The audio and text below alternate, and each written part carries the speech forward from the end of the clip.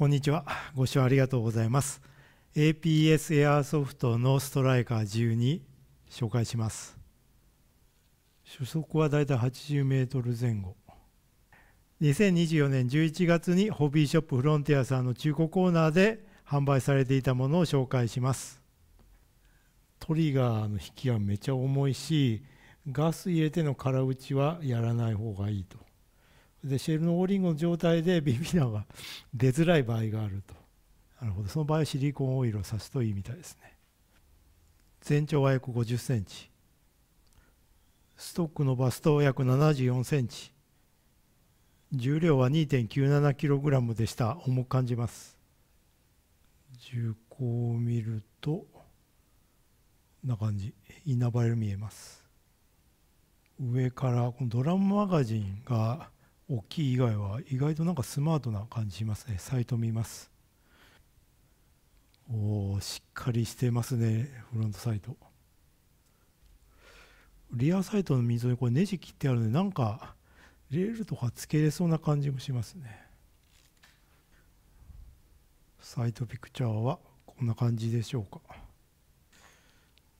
アウターバレルというかハンドガードを見ると下にバーチカルグリップがついてます。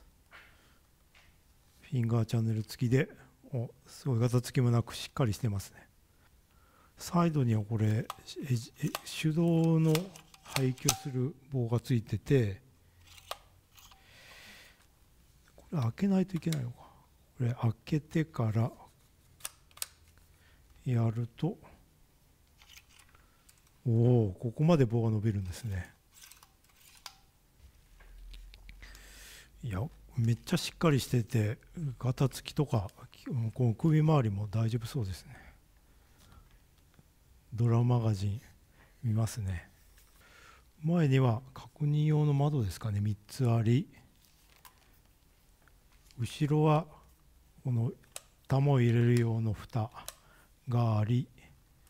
逆側もこのちっちゃい穴で入ってるかどうかを確認するのかもしれないですね。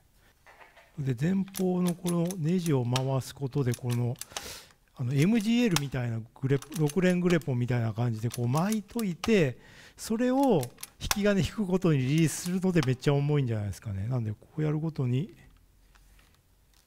安全装置を外して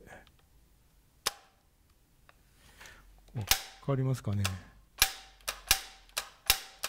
押す切ると出ると。このちょっと途中まで引くことによってこう戻っているという。ここ見れば分かりますかね。この巻いたやつが戻されて一発一発戻ると。結構な勢いがあるんで銃がぶれてるのが。ああすごい。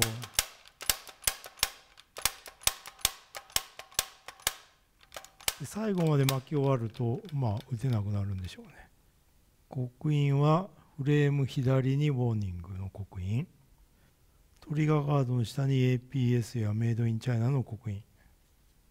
安全装置右から押して発射可能。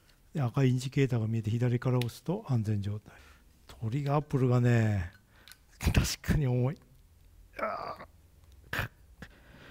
ゆっくり引き絞ると無理。ああかなり重いですね。多分無理でしょうけど一応やってみますね。ああやっぱり。計測不能でしたね。ん？戻った？うん。アウト。グリップが独特でフィンガーチャンネルあるけどこの前と後ろの角張りを結構感じますね。あここからガス入れるんですね。まあ、グリップはどちらかといえば細い方ですかね。おメタルストック。またこの色合いがいいですね。展開と縮めるには、ここを使うみたいですね。このボタンを押してやれば、フリーになって、でここで再びロックされると。はい、こ感じですね。で、こちらをまた押してやれば、まあ、ここのテンションで若干上がって、これで展開できました。まあ若干こんな感じですね。でこの後ろの部分はスプリングテンションがかかってます。シェルは樹脂製で 21g でした。56.8mm 直径は 19.6mm まあ、3発 BB 弾入るっていうことですかね。弾 0.2g のものを使います。入れてみるとあなるほど。中にスポット入るんですね。3発うん。3発だと、まあ、ぴったり入る感じです。6発を3発打ちにして残り6発を1発弾にしてみます。ガス注入しますね。こうかな。海外製らしく吹き戻しがほぼないですね、まあ、これぐらいで。玉入れましょうか。入れる前にこう巻きますね。くるくるくると。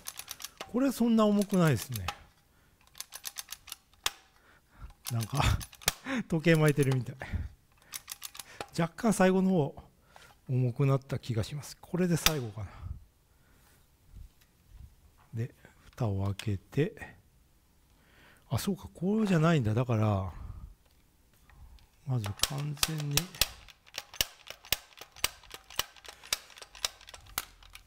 空にしてから一発打ちの球を入れて入れて入れたら巻くと。なんかゲームではあっという間にリロードしてたような気がしますけどやっぱり現実とゲームは差が出ますよね。12連ショットが。いいですよね。念のため巻いときますか。はい。エアガン競技 APS カップの的を5メートル9メートル先に置きました。じゃあどうなりますかね。いきます。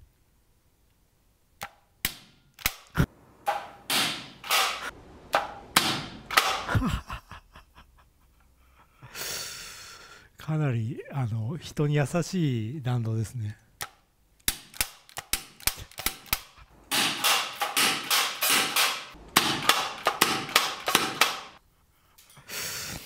まあこの瞬間まあスティールチャレンジも APS もちょっと無理だなっていう感じでしたまあもちろん中古っていうこともあると思うんですけどね。なるほど。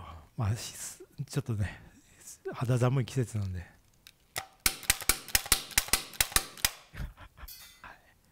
で勢いよく弾けばまああのちょっと重いかなぐらいですけど引き絞るとまず無理ですね。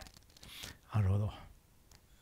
初速を計測します。球は 0.2g 17.4 17.3 32.7 24.1 27.6 12 22.2 16.4 17.1 14、15.6、14.5。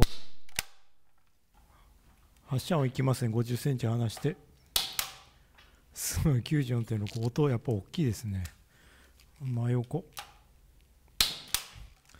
101.8。あ、でもそうでもないのか。重厚は111.6デシベルでした。トライカー12いや COD でね昔よく使ってたのでやっとエアガン触れてよかったです。ただまあ実写性能はねああいう感じなのでまあ軽く部屋で楽しむような感じで付き合うのが良さそうな感じがしますよね、まあ、以前にもいろいろユニークなショットガンですとかいろんなものをレビューしてます。是非他もご覧ください。最後までご視聴ありがとうございました。